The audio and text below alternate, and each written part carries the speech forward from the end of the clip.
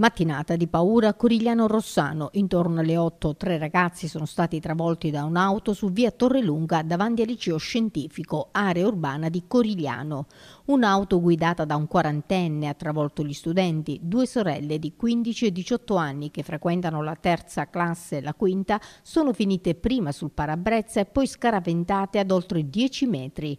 Un terzo ragazzo è riuscito a fare un salto, evitando l'auto e rimanendo lievemente ferito ad un piede. Immediati sono arrivati i soccorsi, sul posto sono intervenuti i carabinieri, la polizia municipale e data la gravità della situazione è stato allertato l'elisoccorso che ha trasportato la diciottenne all'annunziata di Cosenza, in quanto le condizioni sono apparse subito più serie.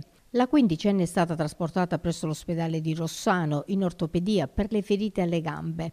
Entrambe le ragazze hanno riportato ferite al capo. Sul caso indagano i carabinieri per accertare la dinamica dell'incidente. Sul posto in molti lamentano la presenza saltuaria della polizia municipale, soprattutto all'ingresso delle scuole che in quella zona conta un'utenza di oltre un migliaio di studenti.